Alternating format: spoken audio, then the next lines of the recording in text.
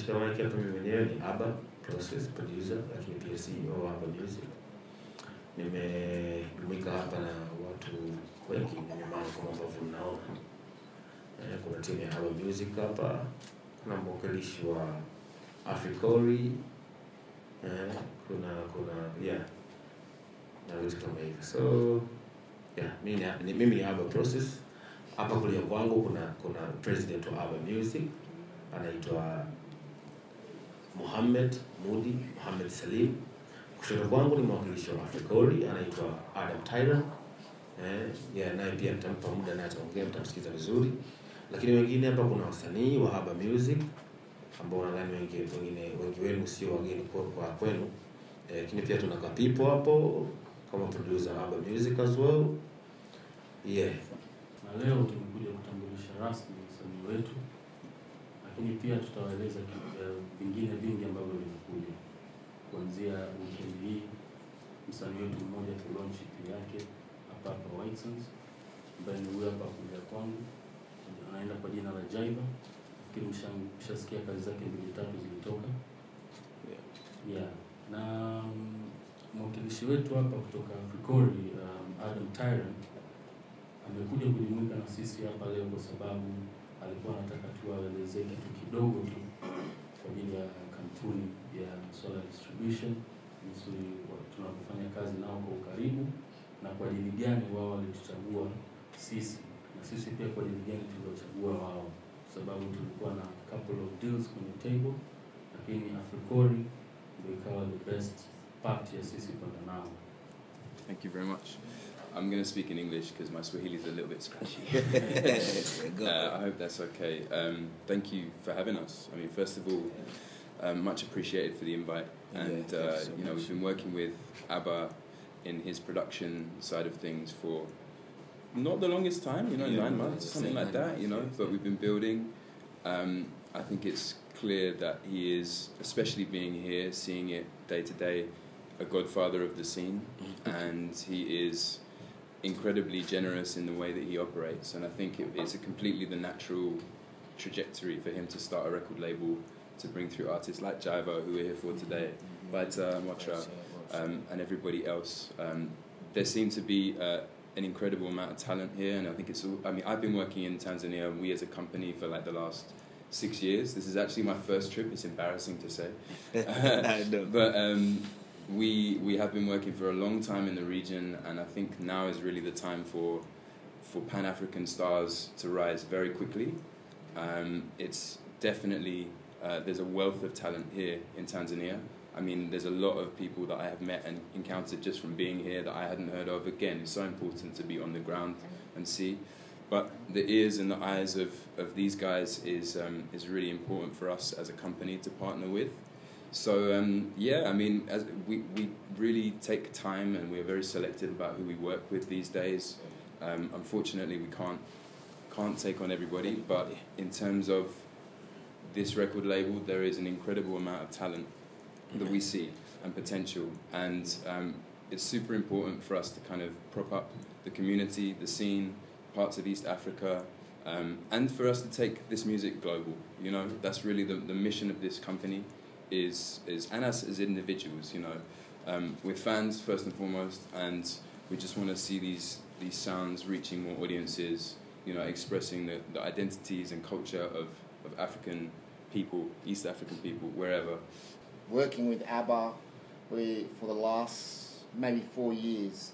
And in the last four years, I've seen ABBA music um, start up from scratch uh, to, to being what it is today. Uh, ABBA and his team tend to look and nurture for musicians here in Tanzania, which is very, very rare. And as Adam said, you know, um, with Africori, I can understand why they're um, working in Tanzania. As Tanzanians, we have a very, very unique genre. So the Swahili genre, you cannot get it anywhere else. And so I can understand why you're moving into this um, sector. Um, Jiva, I've been waiting for this album for maybe last two years. right? So myself, I'm excited that it's finally become fruitful. Yeah. You know, um, this team here is a great team.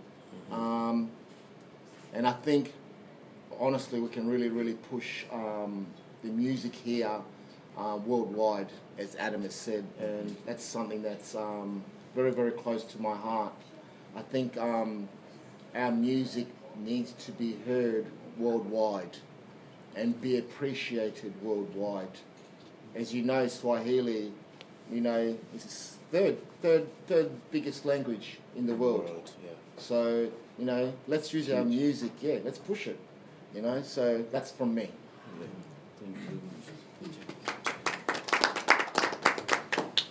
Bwana, tunashukuru sana. Um, kwa hiyo muda huu ningependa tutambulishe msanii wetu rasmi. Um, tutaanza na Jaiva ambaye amekaa kulia kwangu hapa. Yeah.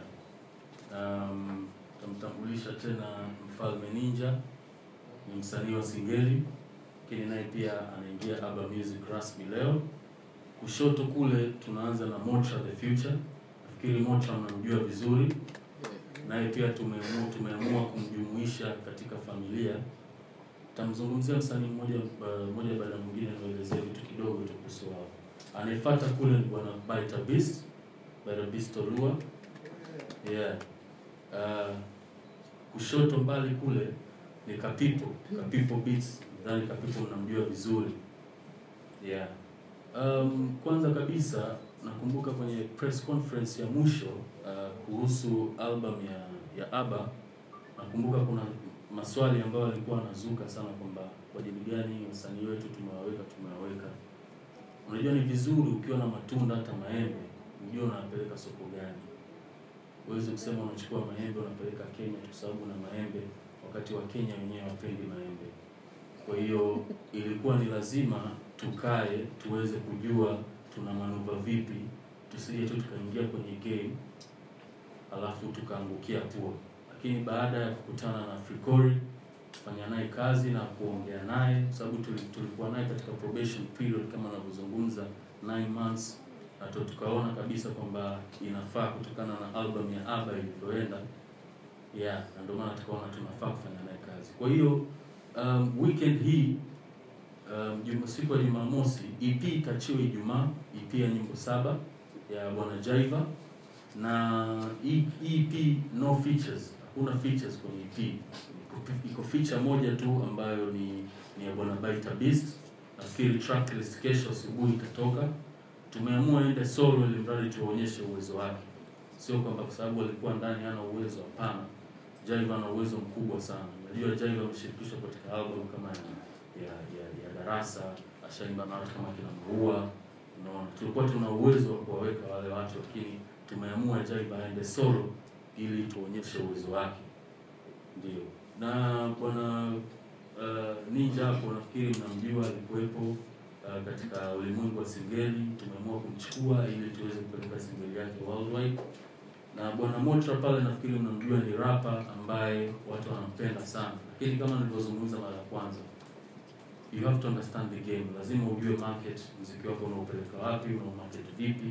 Kwa hiyo tumeona ana kipaji kikubwa, lakini kuna vitu ambavyo alikuwa na lack, na sisi tumeona hivyo vitu tunaweza tukamprovidea, ndio maana tukamuingiza kwenye kwenye kwenye kwenye Urban Music na bwana Baita Beast pale, nafikiri wote mnamjua na yeye Baita Beast atakuja na project yake very soon. Ikishatoka project ya ya, ya Jaiva itakuja project ya, ya Baita Beast. Nafikiri kuanzia sasa hivi onwards itakuwa ni back to back kutoka Aba Music.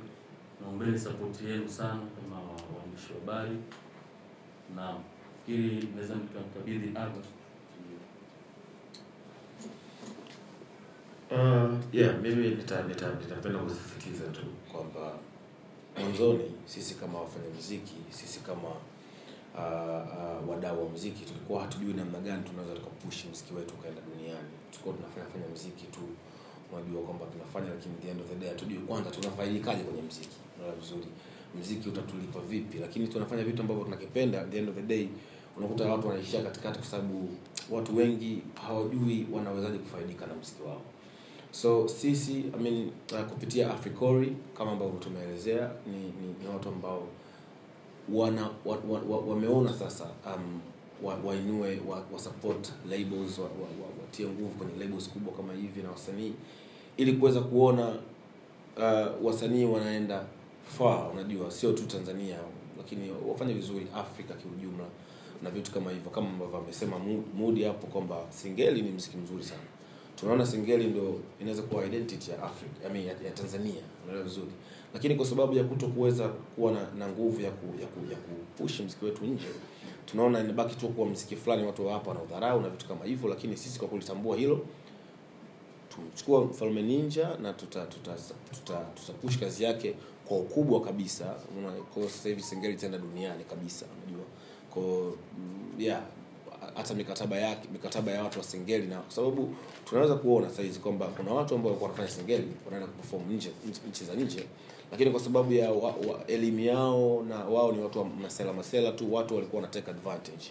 Wanawatumia vibaya wanaenda kwa wanafanya shows kubwa watu hawalipi vizuri. Lakini the end of the day wao wanaangalia tu kwenye kufanya show. Hawaangalii wanawezaje kupushi huu mziki. Au sio bwana ukaenda kwenye ma, kwenye kwenye ma platform tofauti tofauti ya kimziki duniani na vitu lakini okay sisi kwa kutambua hilo na, na kwa kushirikiana na Africori uh, tuta, tutafanya hiyo kazi. Tutahakikisha kwamba uh, singeli inaenda sehemu yake ya sehemu yake inatakiwa kufika duniani lakini pia wasanii wetu wengine akina Jaiva ambao wanafanya afrobeats wanafanya hip hop na watu wengine watafika sehemu ambapo inahitajika kwa ku, kwa kuwa na nguvu ya kampuni kubwa kama Africori nyuma yetu. Yeah. So yeah nadhani sasa hivi kama kutakuwa kuna maswali